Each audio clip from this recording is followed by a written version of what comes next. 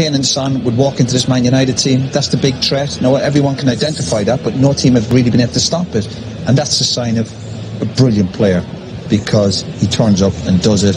And United will obviously have to be on their guard today because you give him a chance, they'll be in the back of the net. Yeah, Harry Kane back in.